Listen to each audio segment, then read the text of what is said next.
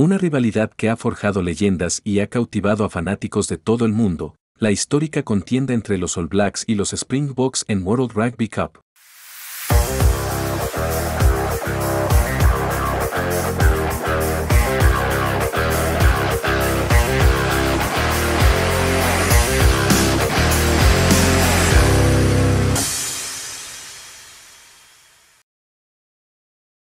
Con la final del Mundial de Rugby de Francia 2023 a la vuelta de la esquina, estamos a punto de presenciar un capítulo épico en esta saga legendaria. La intensidad, la destreza y la pura emoción que estos dos equipos han desatado en el pasado nos han dejado recuerdos imborrables. Desde los primeros encuentros hasta los momentos más destacados en la historia de las Copas del Mundo, ambos equipos han llevado el rugby a nuevas alturas, con su enfoque distintivo y su habilidad para elevar el juego a niveles increíbles.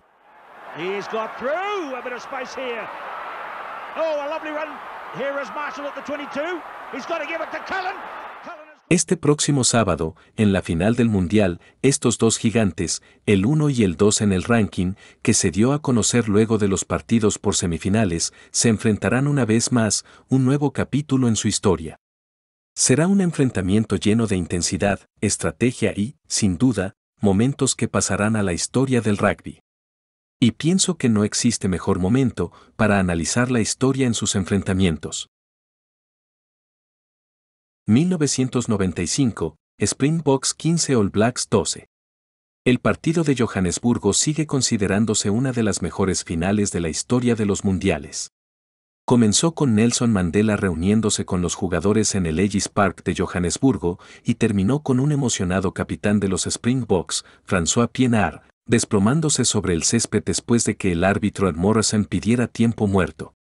Joel Stransky anotó el drop ganador en la prórroga para dar la victoria a los sudafricanos. Era la primera vez que el equipo sudafricano participaba en el torneo, tras haber sido excluidos de los anteriores debido a las leyes racistas del gobierno sudafricano. No se marcó ningún tra, y Andrew Martins pateó todos los puntos para los hombres de negro. Stransky hizo lo mismo para su equipo.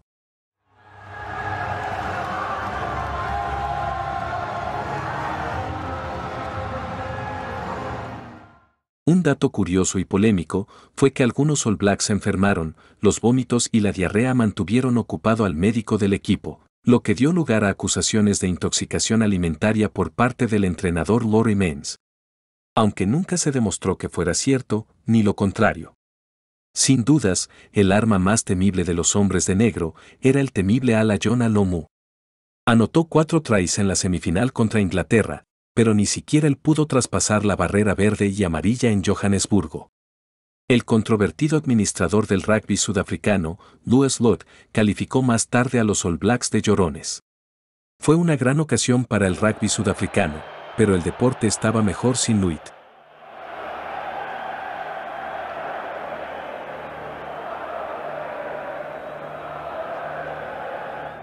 1999, Springboks 22 All Blacks 18. Este partido por la medalla de bronce en Cardiff fue muy duro para los de negro. Los hombres de negro, liderados por el capitán Ten Randall, no podían ser acusados de no querer ganar.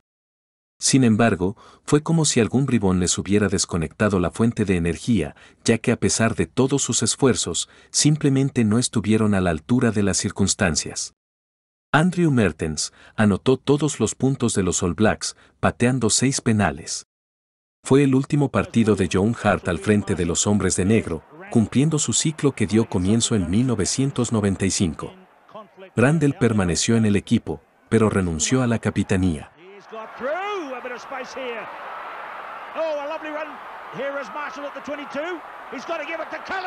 Oh, 2003, All Blacks 29 Springboks 9. Cuando los Kiwis ganaron este partido de cuartos de final en Melbourne, parecía que la gran locomotora negra iba camino de clasificarse para la final. Pero de eso hablaremos más adelante. Los All Blacks, con el creador de juego Carlos Spencer, dispuesto a dar rienda suelta a sus trucos de magia en cualquier momento, fueron demasiado buenos para los Springboks en el Dockland Stadium. Now Spencer searching for an opening and he's found it. Carlos Spencer. Support looms on the inside, McDonald.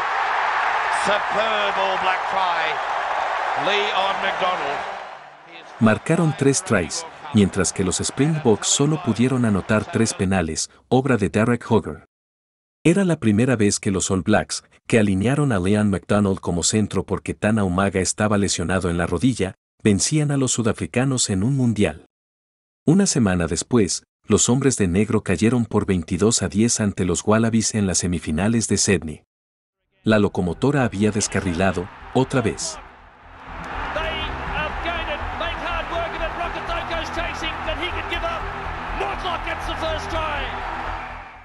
2015, All Blacks 20 Springboks 18. Fue en Guildford, al suroeste de Londres, donde el seleccionador de los Springboks, Eineke Meyer, empezó a hablar de los Ambers de negro. Meyer, durante la presentación de su equipo antes de la semifinal en Twickenham, se deshizo en elogios hacia el equipo kiwi, intentando por todos los medios eliminar la presión y las expectativas de sus jugadores. Hansen, el entrenador de los All Blacks, se burló de que su compañero Meyer intentara ese viejo truco, querrán arrancarnos la cabeza, dijo Hansen.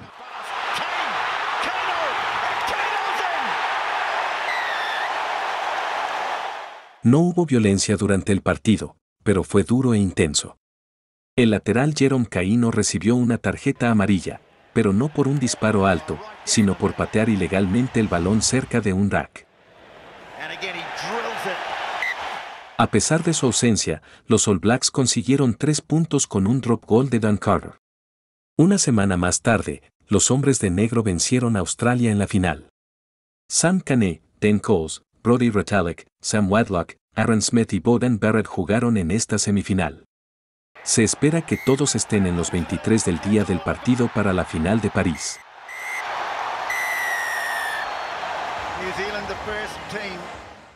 2019, All Blacks 23 Springboks 13.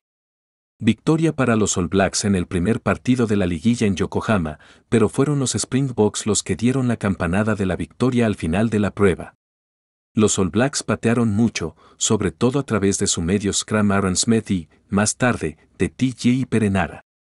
Fue el juego del gato y el ratón y los Springboks sufrieron debido a su incapacidad para soportar la presión. Scott Barrett y George Bridge marcaron para los All Blacks.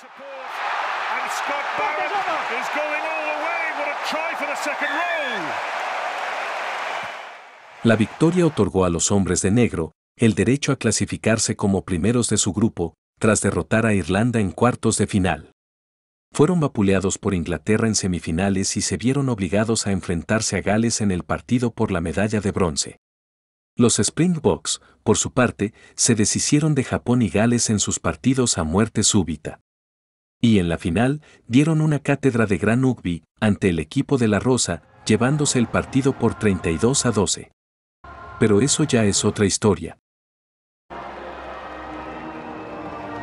Como siempre, gracias por el apoyo y la gran cantidad de comentarios. Si aún no te has suscrito, hazlo, es completamente gratis y te permitirá conocer las novedades de nuestro canal. Me llamo Antonio, esto es Viviendo Rugby. En amistad.